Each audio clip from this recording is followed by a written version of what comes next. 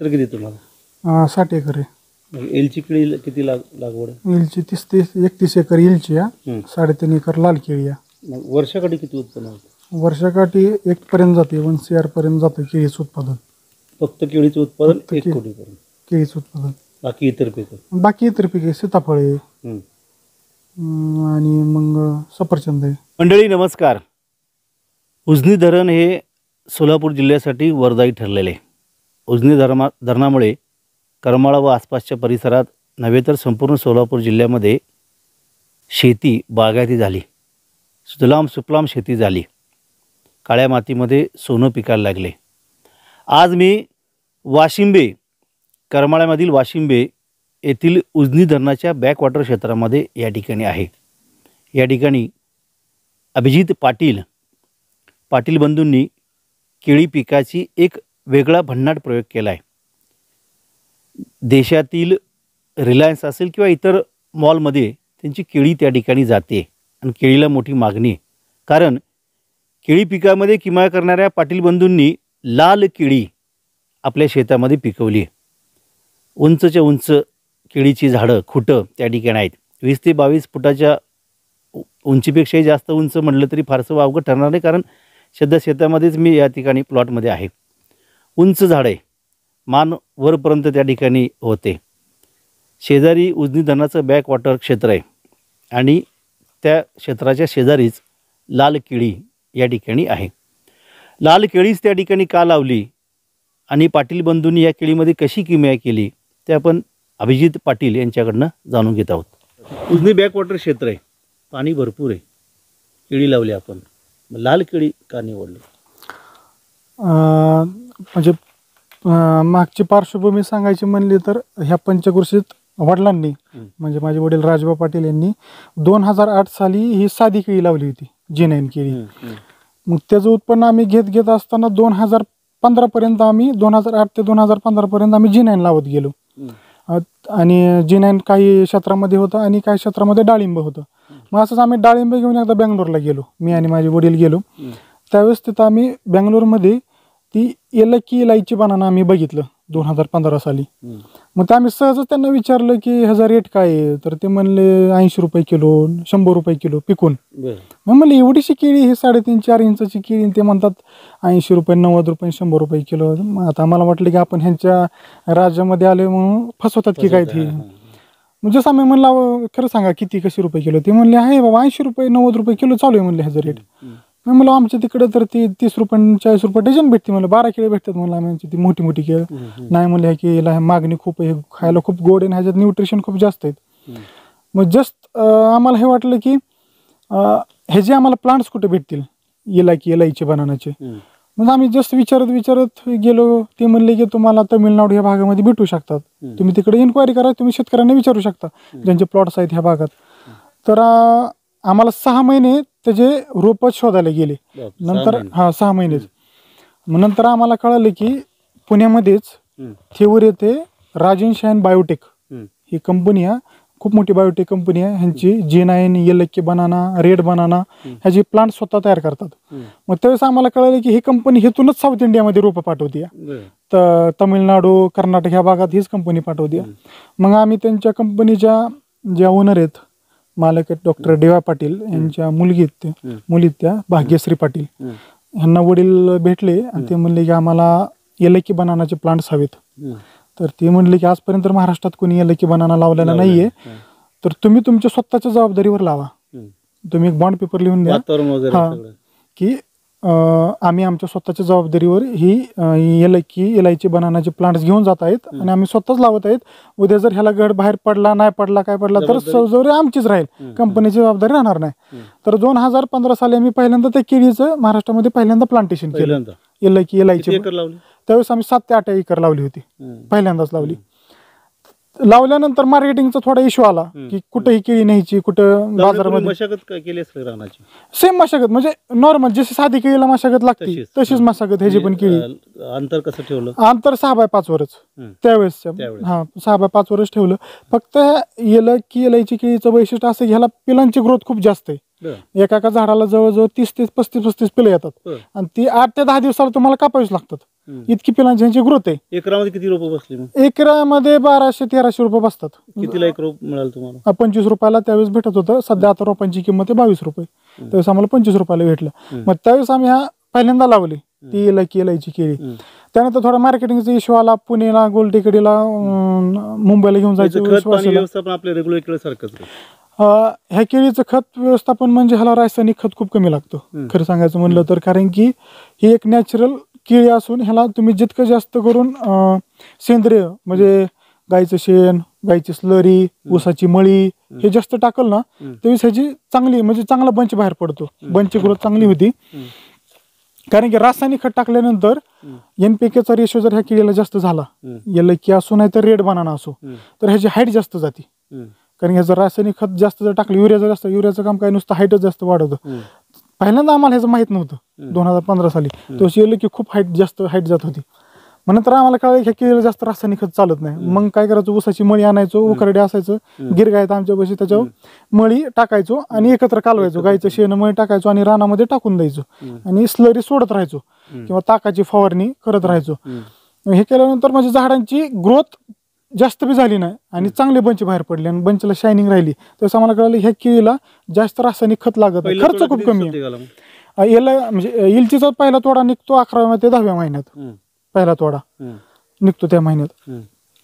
मग थोडा मार्केटिंगचा इश्यू आल्यानंतर आम्हाला वाटलं की महाराष्ट्रामध्ये काय कोणी घेत नाही वाटतं. येलं केलायची केळी. कारण ते बागवान लोक यायचे आणि म्हणायचे बघून जायचे रेट असंच खूप कमी येतं हे ते. कमी रेटमध्ये देऊन टाकले दोन हजार पंधरा. दोन हजार सोळा साली हे रिलायन्स कंपनीला कळालं. त्यावेळेस रिलायन्स कंपनीचे मुंबईचे दिल्लीचे साहेब लोक इथं आले. त्यावेळेस त्यांनी पहिल्यांदा त्या दोन हजार सोळा साली दीडशे टन माल पंचेचाळीस रुपये किलोने उचलला. टन माल. टन माल. सगळं उचलून ते म्हणले की तुम्ही कंटिन्यू लावत राहा. आम्ही तुमची सगळी एल आयची केळी घेऊन जात जाऊ. मग हे झाल्यानंतर सगळ्या कंपन्यांना कळालं बाकीच्या. मग ते टाटा कंपनी असो नाहीतर सह्याद्री फार्म्स असो बाकीच्या जिथल्या रिटेल कंपन्या सगळ्या बिग बास्केट वगैरे ह्यांना सगळ्यांना कळालं की बाबा एल की केळी ही तर वाशिममध्ये भेटते पाटलांकडे. मग हळूहळू आम्ही सगळ्या कंपन्यांना देत गेलो. मग तिथून पुढे दोन हजार पंधरा ते दोन हजार वीस साली आम्ही एल प्लांटेशन कंटिन्यू घेत राहिलो. कारण की ह्याच्यात आम्हाला चांगलं प्रॉफिट मिळत राहिलं. मग हे लावत असताना आम्ही दुसऱ्या शेतकऱ्यांना देखील सांगायचो की तुम्ही लावा. पण ते शेतकरी म्हणजे हाईट जास्त जाते बंचेस तेरा ते चौदा किलोचा पडतो एलकीचा मग नाव कोण घेऊन जायचं आणि ह्याला तुम्हाला मग दोन हजार वीस एकवीस साली आमच्या आजूबाजूच्या शेतकऱ्यांना आम्ही प्रोत्साहन केलं की बाबा तुम्ही एलची लावा. ह्याला चांगलं मार्केट आहे चांगलं उत्पन्न? हा इलायची. महाराष्ट्रामध्ये त्याला एलायची म्हणतात आणि साऊथ इंडियामध्ये त्याला एलक्की म्हणतात. मग हे झाल्यानंतर मग हळूहळू शेतकऱ्यांनी ती लावायला सुरुवात केली. किती लोकांनी लावलं तुमचं बघून? आता जवळजवळ आमच्या गावामध्ये तीनशे ते साडेतीनशे एकर एलकी इलायची बनाना आहे. तुमचं बघून सगळं? आमचं बघून लावलं हम्म. मग हळूहळू अं, राजन शान बायोटेक कंपनीने आपल्याला रोपांची डीलरशिप दिली. हम्म.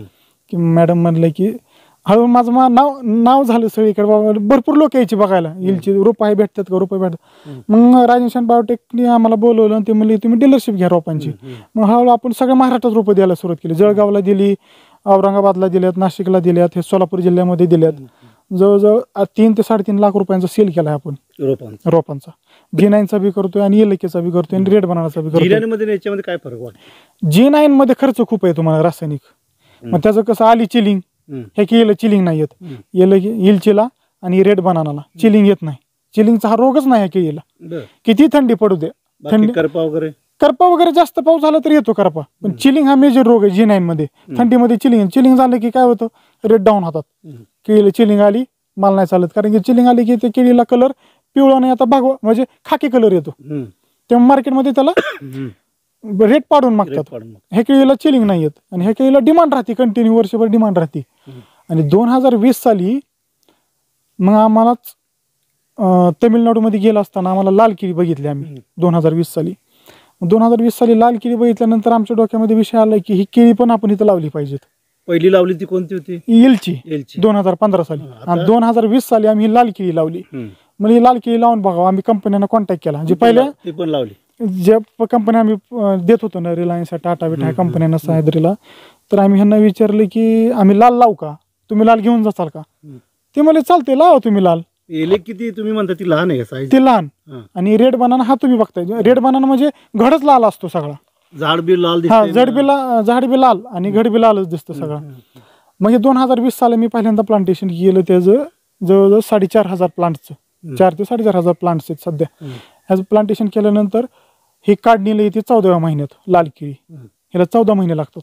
हार्वेस्टिंगला मग चौदा महिने काढायला आल्यानंतर हे मग आम्ही पहिल्यांदाच कंपन्यांना सांगितलं होतं की आम्ही लाल केळी लावली आहे म्हणून. मग त्यानंतर मग अं, केळी काढायला आल्यानंतर मग आम्ही कंपन्यांना सुरुवात केली द्यायला हम्म. मग चांगला रेट भेटला आम्हाला जवळजवळ पंचावन्न रुपये स्टार्टिंगला रेट भेटला पंचावन्न रुपये किलो किलो किलो हा हम्म. जवळ ह्याचा घड जातो वीस बावीस चोवीस किलोपर्यंत हम्म. तुम्ही जास्त चांगलं सांभाळता त्याचा हम्म. अठरा ते चोवीस किलोपर्यंत ह्याची सर म्हणजे चांगला घड पडतो ह्याचा हम्म. मग चांगला आम्हाला ह्याच्यातून उत्पन्न भेटत गेलं आणि ह्याला खर्च कमी लाल म्हणजे. रासायनिकचा खर्चच नाही जास्त अजिबात हम्म. शेणखत गोमूत्र मळी टाकली त्याच्यावरच केळी आली. म्हणजे रियालिटी सांगतो तुम्हाला रासायनिक खत खूप कमी लागतं केळींना. मग मग हे केल्यानंतर मग हळूहळू जवळजवळ मागच्या वर्षी. मागच्या वर्षी आम्हाला पंचावन्न रुपयापासून ते पंचेचाळीस रुपयापर्यंत रेट भेटला. सर्वात कमी रेट भेटला पंचेचाळीस रुपये. लाल केळी. आणि सर्वात जास्त रेट भेटला पंचावन्न. एकरी स्टार्टिंगला तेरा ते चौदा टन माल निघाला. एका एकरात. एका एकरात. पहिला तोडा. पहिला तोडा. नंतर? आणि आता हे सेकंड क्रॉप आहे. मग जवळजवळ आमचा पस्तीस चाळीस टन माल गेला.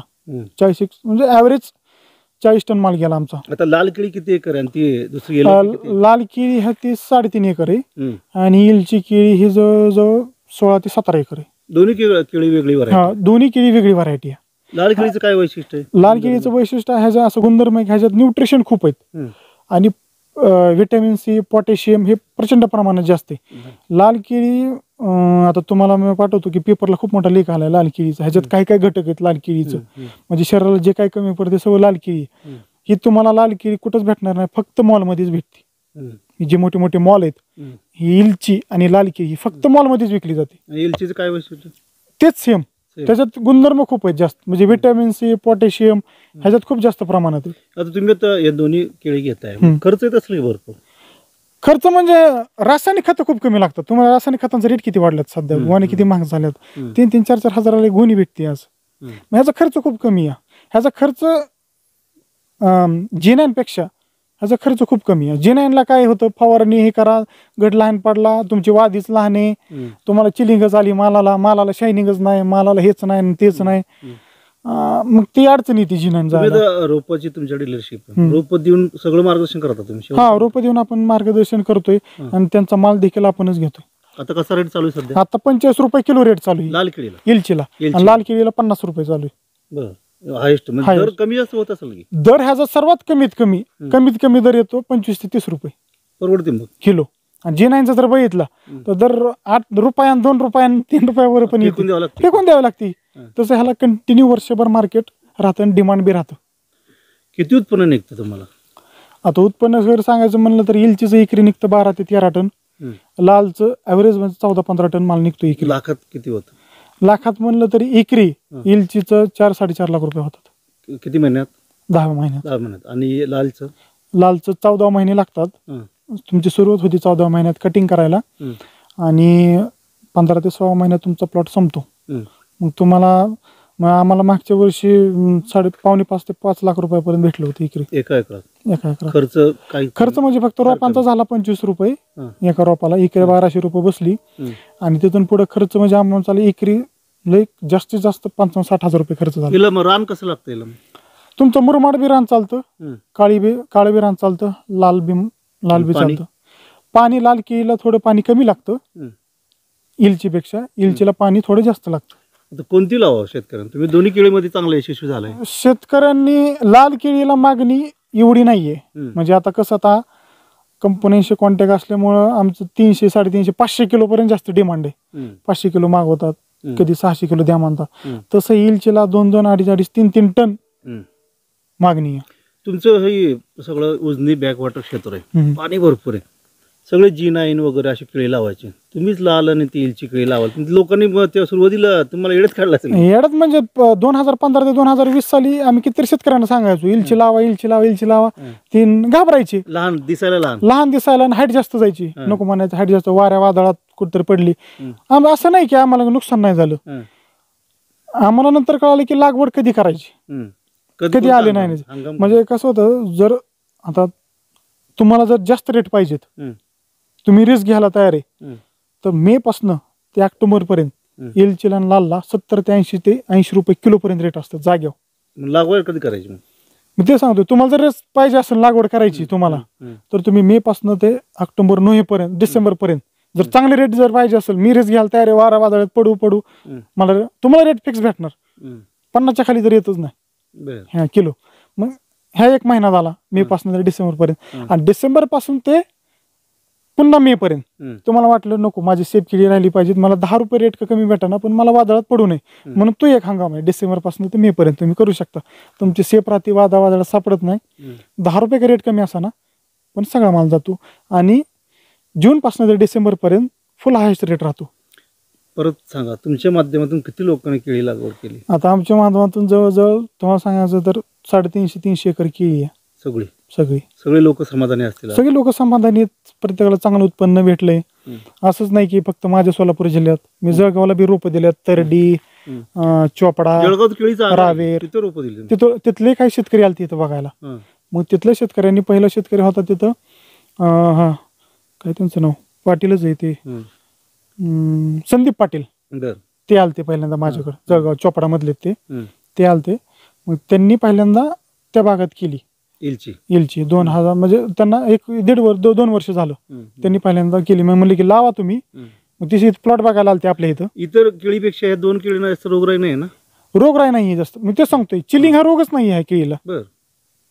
परवडते मग परवडते ही. थंडीमध्ये किती का असताना पण चिलिंग रोगच येत नाही दुसरं विशेष काळजी काय घ्यावं लागली विशेष काळजी म्हणजे पावसाळ्यात विशेष काळजी घ्यावी लागते पावसाळ्यात काय होतं. हाईट जास्त असल्यामुळं. कंटिन्यू जर पाऊस पडत राहिला. तर त्याच्यावर काळी बुरशी सारखे डाग येतात. इलचीवरती. कारण की साधी केळीचा खाली असा लोंबकळता बंच राहतो. साध्या केळीचा जिनायचा.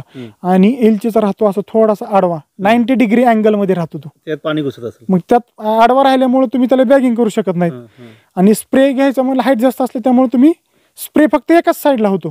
पूर्ण स्प्रे होत नाही. मग थोडं काळ्या स्पॉट म्हणजे ती आपल्याला वाटतं ते मच्छर मच्छरचं स्पॉट आहे पण मच्छरचं स्पॉट नसतात ती काळी बुरशी राहते. पावसाळ्यात तेवढाच एक आणि तांबूर आहे एक. तांबूर आणि काळी बुरशीचा रोगांचा प्रादुर्भाव पडतो पावसाळ्यात जर कंटिन्यू पाऊस पडत राहिला तर. असं रेग्युलर पडला तर मग काय? रेग्युलर असं जर नाही रेग्युलर कमी राहिलं तर काय अडचण नाही येत हम्म. तुमचं शिक्षण किती माझं बी सिव्हिल इंजिनिअरिंग झाले पुण्यामध्ये डॉक्टर डी आर पाटील मध्ये बीई सिव्हिल इंजिनिअरिंग तुम्ही मग Graduate. नोकरी केली नाही नोकरी त्यात आपल्याला जास्त इंटरेस्ट नव्हता नोकरीमध्ये इंजिनियर होऊन तुम्ही केळी उत्पादन इंजिनियर राहून आपण कारण की फ्रुट्सला खूप डिमांड आहे हां. तुम्हाला खरं सांगायचं म्हणलं तर आजकालच्या तरुण मुलांना शेती करायला इंटरेस्ट नाहीये. दहा का पंधरा हजार का पगार असताना पण त्यांना वाटतं मी एसी मध्ये राहावं. आणि भागवा.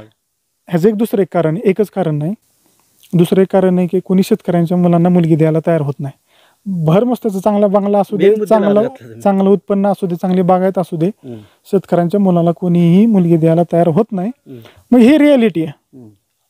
पण ही रियालिटी असताना तुम्ही सिटीमध्ये राहताय तुम्हाला किती लाख रुपये का पगार असताना पण तुमचं भागतंय किती. तुम्हाला सगळ्या गोष्टी विकत घ्याव्या लागतात. इथं काय इथं इथं दूध तुम्हाला तर असं फील होत नाही आपण नोकरी केली असते तर.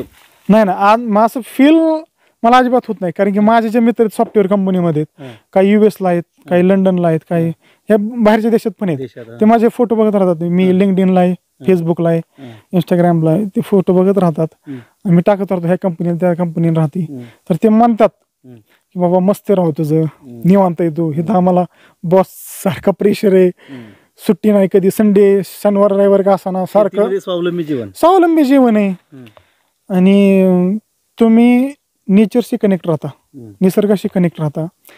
आणि अं, आता ज्या म्हणजे अं, स्वतःचा बिझनेस बी असल्यामुळे आपण स्वतः केळी घेतो स्वतः विकतो. म्हणून भरपूर लोकांशी कनेक्टिव्हिटी झाली. परराज्यामधल्या देखील लोकांशी कनेक्टिव्हिटी नवीन झाली. शेतकरी लावायची म्हणली हम्म. सुरुवात कशी करावी त्यांनी? नवीन शेतकऱ्यांना जर लावायची म्हटली हम्म. तर त्यांनी सात बाय पाच हम्म. वर इलची लागवड करावी हम्म. एकरी साडेबाराशे रुपये बसतात. रोप मार्गदर्शन सगळं हा तुम्ही सगळं करतो.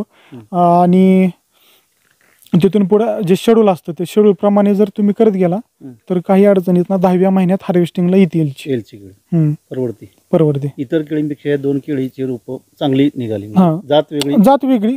डिमांड चांगले मॉलमध्ये जाते. सगळी मॉलमध्ये जाते तरुण एक युवा शेतकरी बी सिव्हिल तिकडे झालंय. आणि इकडे ही शेती. काय वाटतं तुम्हाला? कसं असतं आता घरच्यांना वाटतं की मुलगा शिकलाय ग्रॅज्युएट झालाय ते इंजिनियर झालं इंजिनियर झालाय तर त्यांनी जॉब करावा नोकरी करावी. कारण की आजूबाजूचे लोक असतात आजूबाजू नातेवाईकात मधले काय असतात ते सॉफ्टवेअर कंपनीत ह्याला एक लाख रुपये पगार आहे त्याला. ऐंशी हजार पॅकेज आहे. आणि तू कुठे शेती करत बसतोय? तुम्हाला आहे शेतीमध्ये? मग ते आता समाधान आहेत ते. की काहीतरी ग्रोथ होत चालली आपल्या शेतीमध्ये आणि नवीन बिझनेस सुरू केलाय. त्यातून आपल्याला चांगलं उत्पन्न भेटतंय. कारण की जितकं नोकरी भेटत नाही तेवढं आम्हाला शेतीतून मार्केटिंग सगळं तुम्हीच करता? हा मार्केटिंग आपणच बघतो सगळं. मॉलमध्ये देणे मॉलमध्ये देणं परराज्यामध्ये देणं. आहे परराज्यामध्ये कर्नाटकमध्ये जाते आपली दिल्लीला जाते. वाशिंबे मधील केळी. दिल्ली कर्नाटक तिकडं जाते. बरं वाटतंय मनाला? बरं वाटतं म्हणजे तिकडचे आता व्यापारी मागतायत. आता असंच नाही केळीच नाही पाठवत फक्त. सीताफळ पाठवतोय पेरू पाठवतोय मी स्वतः सीताफळ बी घेतो पेरू बी घेतो. आणि ते बी पाठवते सध्या आता कर्नाटक तमिळनाडू लाईन सुरू केली आपण तिकडचे काही अं, मोठे मोठे मॉल आहेत तिथले कंपनीचे साहेब लोक ओळखीचे शिक्षणाचा. फायदा झाला शेतीमध्ये शिक्षणाचा फायदा झाला कारण की शिक्षणामुळे कम्युनिकेशन करता आलं व्यवस्थित. कारण की आता कंपन्यामधले साहेब लोक इंग्लिशमध्येच बोलतात हं. त्यांचे हिंदीमध्ये हे बोलतात मग कम्युनिकेशन व्यवस्थित झालं. कम्युनिकेशन व्यवस्थित झाल्यामुळं कम्युनिकेशनपेक्षा तुमच्या प्रोडक्टची क्वालिटी बघतात ते. हं. त्यांचं प्रोडक्ट कसं आहे काय आहे? शेती लाख मुलाची वाटते का? हा तरुण शेती- म्हणून. नाही शेती ही खरंच लाख मोलाची आहे. फक्त एवढंच की कष्ट करायची तयारी पाहिजेत किती वेळ जाता तुम्ही शेतीला?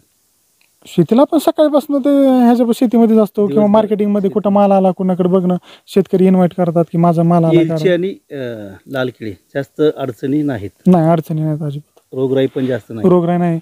सर्वसामान्य शेतकऱ्याला परवडू शकतो. परवडते. कोणी लावू शकतं सर्वसामान्य शेतकरी? गरीबातला गरीब शेतकरी एक एकर असेल तरी लावू शकतो. दर पण चांगला मिळेल दर बी चांगला राहतो. एक एकर लावली तर त्याला किती अं, उत्पन्न मिळेल? दहा ते अकरा टन माल निघतो. किती लाखाचं? मग सरासरी जर पस्तीस चाळीस रुपये रेट जर धरला हां. तर त्याला साडेतीन चार लाख रुपये एकरी होतात. शेती बरी वाटते? हा एकदम बेस्ट आहे. तर मंडळी आपण पाहिलं असेल सिव्हिल इंजिनियर झालेलं हे पाटील. पाटील साहेब म्हणू यांना आता कारण हे सिव्हिल इंजिनियर झाले. आणि यांनी या ठिकाणी शिक्षणाचा फायदा असा भन्नाट करून घेतला आहे की राज्यात नव्हे तर राज्याबाहेर त्या ठिकाणी आपली केळी लाल केळी आणि एलची केळी ही त्या ठिकाणी पाठवत आहे महाराष्ट्रामध्ये सगळ्यात पहिल्यांदा संबंधित केळीचं त्या दोन्ही केळीच्या वाहनाची डीलरशिप घेण्याचा बहुमानसुद्धा अभिजित पाटील यांनी मिळवला. दोन प्रकारच्या केळी त्या ठिकाणी लागवड केली. शेजारी आपण बघितलं नजर मारली तर उजनीचं बॅकवॉटर पायथ्याला आहे. त्या पाण्याचा फायदा घेऊन ऊस शेती त्या ठिकाणी भन्नाट केली करू शकले असते. पण वेगळी शेती निवडली केळी. रेग्युलर केळी पिकापेक्षा एलची आणि लाल केळी लावली आणि मोठी किमया अभिजित पाटील यांनी त्या ठिकाणी केली. त्यामुळेच आज अभिजित पाटील सिव्हिल इंजिनियर असतानाही तरुणाला संदेश देत आहे. शेतकऱ्याचा पोरगा शिकला आणि ते शिकलेल्याचा फायदा त्यांनी जर आपल्या शेतीत घेतला टाकला तर शेती ही सोनं पिकवू शकते असा संदेश अभिजित पाटील यांनी या ठिकाणी दिलेला आहे. असेच नवनवीन व्हिडिओ पाहण्यासाठी आमच्या चॅनलला सबस्क्राईब करा आणि बेल आयकॉनवर क्लिक करा.